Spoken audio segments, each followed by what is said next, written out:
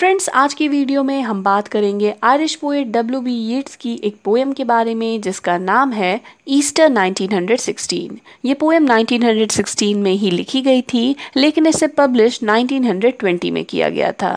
ये poem 80 lines की है और फोर डिफरेंट स्टैंडर्स में बांटी गई है।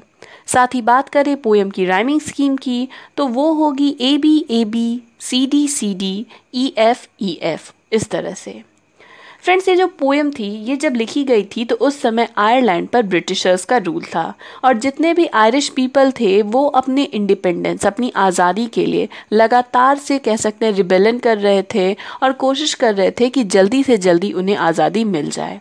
तो उन्हीं आज़ादी की कोशिश के बीच ये ईस्टर 1916 बहुत इंपॉर्टेंट है, क्योंकि ईस्टर राइजिंग जब 1916 में जो ईस्टर का फेस्टिवल था, उस समय आयरिश नेशनलिस्ट जितने भी थे, उन्होंने एक रिबेलन किया था, ताकि उन्हें ब्रिटिश रूल से आज़ादी मिल सके। इसमें बहुत सारे जो लीडर्स थे, उन्हें एग्जीक्यूट किया गया था, फांसी की सज़ा सुनाई गई थी, और इस पोएम में पोइट जो हैं, वो एक तरह से कहते हैं कि उनके मन में मिक्स्ड इमोशन है, उन लोगों के लिए। यानी, पहले शायद उन्हें लगता था कि ये जितने भी लोग हैं जो इस रिबेलन में हिस्सा ले रहे थे, शायद वो उतने इंपॉर्टेंट नहीं है, वो कभी कभी उनका मज़ाक भी उड़ाता था। लेकिन अब वो उनकी रिस्पेक्ट करता है कि उन्होंने अपने देश के लिए अपनी जान दे दी। लेकिन साथ ही ये भी सोचता है कि क्या उनकी जान देना, उनका जान देना अपने देश के लिए क्या ये ज़रूरी था? हो सकता है कि बिना उनकी डेथ के भी हमें आज़ादी मिल जाती। तो इतनी मेहनत जो हमने की, क्या वो किसी काम की थी या नहीं थी? इस पोएम की बेसिक थीम्स में आती हैं हीरोइज्म सैक्रिफाइस और साथ ही डेथ अब अगर बात करें पोइट की तो डब्ल्यू बी येट्स का पूरा नाम था विलियम बटलर येट्स वो एक बहुत ही फ़ेमस आयरिश पोइट रहे हैं। उनका जन्म हुआ था 13 जून 1865 में और उनकी डेथ हुई थी 28 जनवरी 1939 में।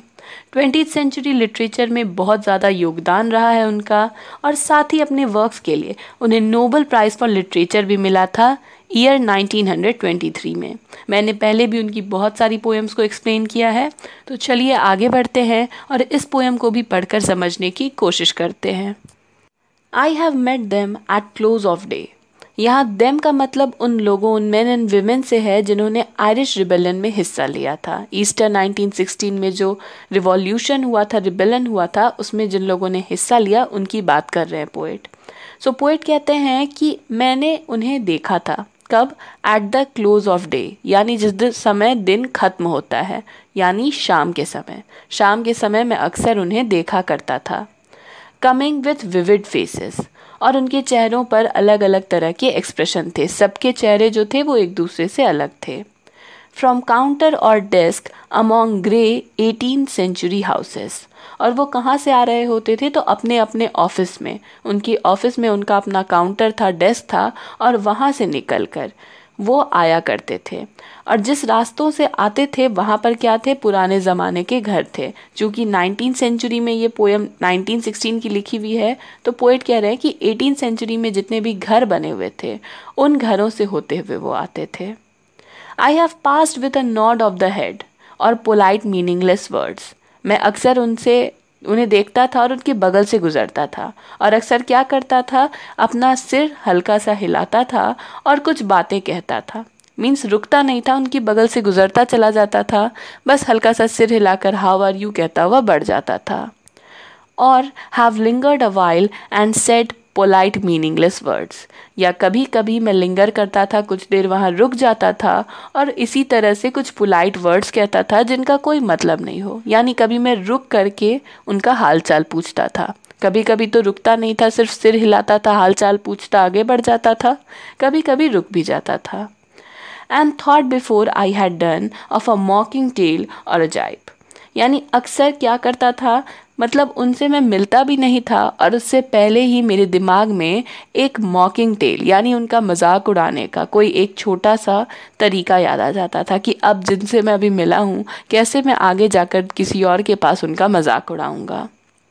To please a companion around the fire at the club और ऐसा मैं क्यों करूँगा? तो अपने किसी दोस्त को खुश करने के लिए, जब मैं उनसे अपने क्लब में मिलूँगा। यानी जो मेरे क्लोज़ फ्रेंड्स हैं, मैं उनके साथ बैठकर इन लोगों का मज़ाक उड़ाऊँगा। मैं ऐसा अक्सर सोचा भी करता था। Being certain that they and I but lived where motley is born यानी इस बात के लिए मैं श्योर था कि हम दोनों जो हैं, जो मैं हूँ और ये सभी लोग जिनसे मैं मिल रहा हूँ, हम सबकी लाइफ जो है वो क्या है, बहुत ही सिंपल सी है। कुछ भी हम बहुत इंपॉर्टेंट नहीं कर रहे हैं इसमें तो मुझे उतना सोचने की ज़रूरत नहीं है। All change changed utterly a terrible beauty is born लेकिन ये सब कुछ जो था, वो क्या हुआ, वो बदल गया। बिल्कुल पूरी तरह से बदल गया और उससे जन्म ली एक बहुत ही डरावनी खूबसूरती ने। यानी क्या चीज़ ने जन्म लिया? एक रिबेलन ने। एक तरह की जंग, एक तरह की हम कह सकते हैं वायलेंस हिंसा हुई, लेकिन वो हिंसा भी बहुत खूबसूरत थी, क्योंकि वो आगे चलकर हमें हमारी देश की आज़ादी दिलाती। तो ये चेंज बहुत ही ज़्यादा डिस्ट्रक्टिव था, लेकिन ये चेंज ज़रूरी था। That woman's days were spent in ignorant goodwill अब पोइट यहाँ पर एक पर्टिकुलर वुमेन के बारे में बताते हैं कि वो जो वुमेन थी, उसके जो दिन थे, वो हमेशा यूँ ही कुछ ना कुछ करते हुए बीत जाते थे। कुछ बहुत इंपॉर्टेंट तो वो नहीं करती थी, लेकिन उसकी जो विल थी, वो हमेशा गुड होती थी, वो हमेशा सबका भला चाहती थी, लेकिन कुछ इंपॉर्टेंट नहीं करती थी।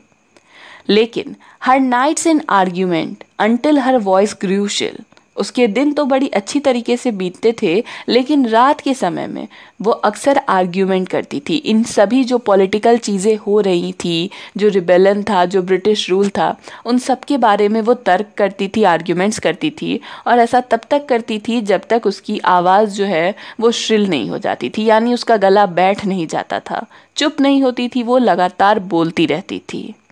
What voice more sweet than hers? When young and beautiful, she wrote to Harriers.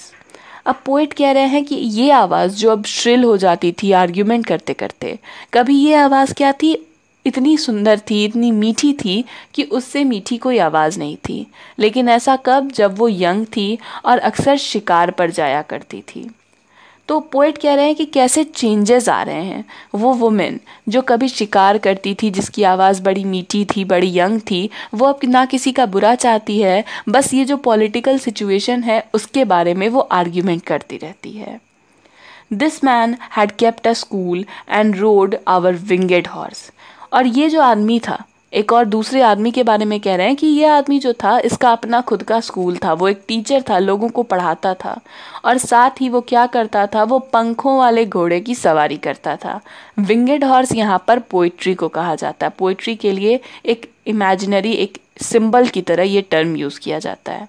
तो यहाँ पर कह रहे हैं कि वो सिर्फ़ एक टीचर ही नहीं था, वो पोएट भी था। और पोइट्री में अपना इंटरेस्ट वो दिखाता था। This other his helper and friend was coming into her force और एक और आदमी था, जो कि उसका हेल्पर था, उसका दोस्त था, और उसी के साथ वो भी अपना फोर्स जोड़ रहा था। यानी वो भी टीचिंग का जो पैशन है एक्सेप्ट कर रहा था, वो भी पोइट्री कर रहा था। तो ऐसे लोगों से मैंने एक्सपेक्ट नहीं किया था कि ये जा कर के रिबेलन करेंगे। He might have won fame in the end so sensitive his nature seemed और ये जो आदमी था वो हो सकता है आगे जाके बहुत फ़ेमस हो जाता। इतना सेंसिटिव था, इतना नाजुक सा उसका नेचर था, इतना मीठा वो बोलता था कि हो सकता है वो एक बहुत अच्छा पोइट बनता और बहुत फ़ेमस भी हो जाता। So daring and sweet his thought और उसके जो थॉट्स थे, जो वो सोचता था, उसके वो थॉट्स भी बहुत ही ज़्यादा प्यारे थे, बहुत मीठे थे, अच्छे सोचता था और साथ ही डेयरिंग भी था। यानी जो उसके मन में आता था, वो करता था। This other man I had dreamed, a drunken, vainglorious lout. और एक और आदमी मुझे याद आ रहा है। वो आदमी कैसा था? तो उसे देखकर कोई भी कहता कि वो एक शराबी है घमंडी है और उसका कुछ भी भला नहीं हो सकता। यानी मेरी तरफ़ से तो वो बिल्कुल नकारा था निकम्मा था। He had done most bitter wrong to some who are near my heart और उस इंसान ने क्या था, क्या किया था? बहुत ज़्यादा गलत चीज़ें की थी। कुछ ऐसे लोगों के साथ जो मेरे दिल के बहुत करीब थे। यानी मेरे अपनों को उसने चोट पहुंचाई थी तो उसके बारे में तो मैं बुरा सोचूँगा ही। Yet I number him in the song फिर भी इस पोएम में मैं उसका नाम लेता हूँ। यानी मैं उससे नफ़रत करता था, फिर भी मैं उसे याद करता हूँ। इतना इंपॉर्टेंट रहा वो आदमी भी मेरे लिए। He too has resigned his part in the casual comedy और उसने भी क्या किया? अपनी लाइफ में कुछ ऐसी इंपॉर्टेंट चीज़ कर दी, जिसके लिए उसे याद किया जाना चाहिए। यानी एक तरह से ये जो लाइफ वो जीता था, वो इंपॉर्टेंट नहीं था। अपने लाइफ में उसने अच्छी हरकतें नहीं की, दूसरों को परेशान किया, लेकिन बाद में जो उसने किया, उसके कारण उसे इस पोयम में अभी भी याद रखना चाहिए। He too has been change in his turn transformed utterly और इस आदमी को भी पूरी तरह से बदल दिया गया। जब इसका समय आया तो ये भी पूरी तरह से बदल गया। सब कुछ इसमें जितनी भी चीज़ें थी, वो पूरी तरह से ट्रांसफॉर्म हो गई चेंज हो गई। A terrible beauty is born और इसी के साथ एक फिर से एक खतरनाक खूबसूरती जो है उसने जन्म लिया। वो खूबसूरती क्या है? तो रिबेलन तो ये सारे लोग जो पोइट इन सभी को जानता था, इन सब के बारे में पोइट का कुछ अलग ही थॉट्स था, ये सभी आगे चलकर इस रिबेलन में हिस्सा लेते हैं। Hearts with one purpose alone through summer and winter seem यानी ऐसे दिल जिनके पास सिर्फ़ एक ही पर्पस है, उन्हें सिर्फ़ एक ही काम करना है। उन्होंने डिसाइड कर लिया है कि गर्मी का मौसम रहे, ठंड का मौसम रहे, कुछ भी सीजन्स चेंज हो जाए, कुछ भी बदल जाए, मुझे बस वही चीज़ चाहिए। तो ऐसे जो दिल हैं enchanted to a stone to a trouble the living stream वो बिल्कुल उस पत्थर की तरह हैं, जो कि एक बहते हुए पानी के स्ट्रीम को परेशान करती है। आप ऐसे समझिए कि पानी का झरना है, नदी है, बह रही है, और उसके बीच में एक पत्थर है, जो कि हिलेगा नहीं, वो बिल्कुल जमा हुआ है।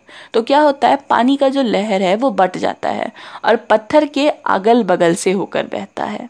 तो हमारी ये जो एक तरह से पर्पस होती है, जो हम कभी चेंज नहीं करते, हमेशा उसी के बारे में सोचते हैं। ये भी हमारी लिविंग को बिल्कुल ऐसे ही परेशान करती है। The horse that comes from the road the rider the birds that range from cloud to tumbling cloud minute by minute they change अब यहाँ पोइट बता रहे हैं कि नेचर जो है, उसमें तो चेंज होती ही रहती है। ये जो हमारा पूरा वर्ल्ड है, ये जो हमारी नेचर है, ये सब बदलती है। जो हॉर्स है वो भी मूव कर रहा है, उस पर बैठा राइडर भी मूव कर रहा है। जो पक्षी हैं, वो उड़ रहे हैं, बादल हैं, वो मूव कर रहे हैं। तो मिनट बाय मिनट समय के साथ सब कुछ चेंज कर रहा है। A shadow of cloud on the stream changes minute by minute a horse who slides on the brim and a horse plashes within it अब पोइट कह रहे हैं कि और भी ज़्यादा बदलाव होता है, यानी समय के साथ बहुत सारी चीज़ें बदलती है।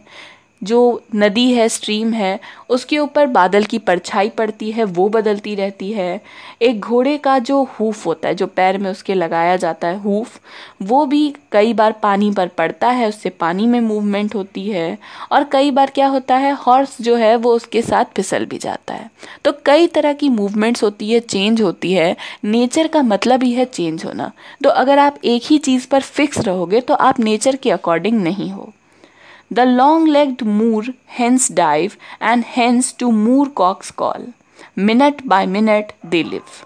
और इसी के साथ जितने भी नेचुरल इवेंट्स ऑफ़ लाइफ हैं, यानी जो मूर हैंस हैं, वो कॉक्स को बुलाते हैं अपोजिट जो जेंडर्स हैं, वो एक दूसरे को अट्रैक्ट करते हैं और इस तरह से हम जो नेचर है, उसमें अडेप्ट करते हैं, अपने आप को चेंज करते हैं, ताकि हम लगातार सरवाइव कर सकें। तो ये सारी चीज़ें हमें बताती है कि चेंज कितना ज़रूरी है। हम लगातार एक ही पोजीशन में एक ही चीज़ पर फंसे हुए नहीं रह सकते हैं।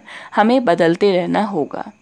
The stones in the midst of all लेकिन इन सब के बीच में क्या है? पत्थर है। जो कि कभी चेंज नहीं होते। जैसे हैं, वो वैसे ही रह जाते हैं। तो हमें क्या इस पत्थर की तरह बनना चाहिए? क्या हमें भी इसी तरह से बिना किसी चेंज के रहना चाहिए? ये एक सोचने वाली बात है। Too long a sacrifice can make a stone of the heart अगर बहुत समय तक हम सैक्रिफाइस करते हैं, हम अपनी पसंद की चीज़ें नहीं लेते हैं, हम अपनी खुशियों को साइड कर देते हैं तो धीरे धीरे हमारा ये दिल भी क्या होगा? ये भी पत्थर का बन जाएगा। जो हमारी ह्यूमन फीलिंग्स हैं, वो धीरे धीरे ख़त्म हो जाएगी। O when may it suffice और पोइट कहते हैं कि क्या ये सारी चीज़ें जो हैं, ये सेक्रीफाइस जो हैं, ये काफ़ी हैं कि हम अपने गोल को अचीव कर लें। अपने एक छोटे से गोल को पाने के लिए इतनी बड़ी कीमत चुकाना क्या ये सही है? दैट इज़ हेवेंस पार्ट अब पोइट कहते हैं कि ये डिसाइड करना मेरा काम नहीं है, ये तो गॉड का काम है। ये हेवन का काम है कि वो डिसाइड करे कि क्या इतनी सैक्रिफाइस सही है या सही नहीं है। Our part to murmur name upon name हमारा काम क्या है कि हम डिसाइड करें सिर्फ़ याद करें उन सभी लोगों को जिन्होंने अपनी जान दी इस रिबेलन में, यानी हम उनका नाम लगातार लेते रहें। उन्होंने इतनी बड़ी कुर्बानी दी है तो उन्हें भूलना नहीं है, उन्हें याद करते रहना है। As a mother, names her child when sleep at last has come on limbs that had run wild. ठीक उस माँ की तरह। कैसी? जो अपने बच्चे को सोता हुआ देखती है और उसे प्यार करती है। वो बच्चा जो पूरी शाम अपने पैरों पर दौड़ता रहा था। तो जब बच्चा थक कर सो जाता है अपनी माँ की गोद में तो माँ अक्सर उसे प्यार करती है और नींद में भी उसका नाम पुकारती रहती है। तो बिल्कुल उस माँ की तरह हमें भी उन लोगों का नाम पुकारते रहना है, हमें भी उन्हें याद करते रहना है। What is it but nightfall यानी क्या ऐसा भी हो सकता है कि ये रात का समय हो? हो सकता है कि वो लोग मरे ना हों, बल्कि वो भी इसी तरह एक छोटे बच्चे की तरह सो रहे हों और कल सुबह को फिर जाग जाएँ। No no not night but death लेकिन फिर पोइट कहते हैं कि नहीं नहीं, मुझे पता है ये रात नहीं है, बल्कि ये क्या है? ये डेथ है, मौत है, और अब ये लोग लौट कर वापस नहीं आएँगे। Was it needless death after all and यहाँ पर ये बेसिक सबसे बड़ा क्वेश्चन आता है कि क्या ये जो डेथ थी, ये ज़रूरी थी या ये नीडलेस थी? उन लोगों का मरना ज़रूरी था या नहीं था, ये पोइट यहाँ पर क्वेश्चन कर रहे हैं। हो सकता है कि वो बिना वजह ही अपनी जान दे बैठे, उनका मरना ज़रूरी नहीं था। For England may keep faith for all that is done and said क्योंकि ऐसा भी हो सकता है कि ये जो ब्रिटेन है, जो इंग्लैंड है, जो हम पर रूल कर रही है, वो ऐसे भी हमें हमारी जो इंडिपेंडेंस है वो दे देती, इतना कुछ करने का ज़रूरत हमें नहीं होता। हो सकता है कि इंग्लैंड ने हमें धोखा दिया, हम पे रूल किया है, लेकिन वो ऐसे भी हमें हमारी इंडिपेंडेंस लौटा सकती थी। We know their dream enough to know they dreamed and are dead अब जितने भी लोग मरे हैं, जिन्होंने सैक्रिफाइस किया है, उनके बारे में, उनके सपनों के बारे में हम इतना तो जान ही गए हैं तो हमें पता है कि उन्होंने क्या सपने देखे, कैसे उन्हें अचीव किया। लेकिन उन्हें अचीव करने में उन्होंने अपनी जान दे बैठी। अब वो इस दुनिया में नहीं है तो अब हमें क्या उन्हें रिस्पेक्ट देना चाहिए ऑनर देना चाहिए, ये हम डिसाइड करेंगे। And what if excess of love bewildered them till they died क्या ऐसा भी हो सकता है कि अपने मकसद से, अपने गोल से वो इतना ज़्यादा प्यार करते थे कि वो इस डिवोशन को, इस प्यार को सह नहीं सके, उनकी जो जजमेंट है वो डिसाइड नहीं कर सकी कि उन्हें क्या करना चाहिए और आखिरकार उनकी मौत हो गई। यानी इतने अटैच्ड हो गए वो अपने गोल से कि उन्हें इंडिपेंडेंस चाहिए कि वो ये डिसाइड भी नहीं कर सके कि वो जो कर रहे हैं वो सही है या नहीं।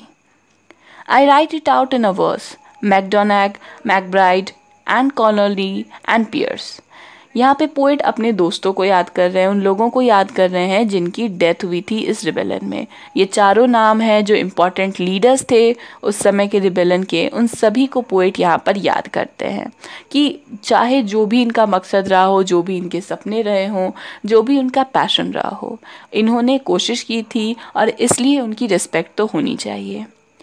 now and in time to be, wherever green is born, are changed, changed utterly.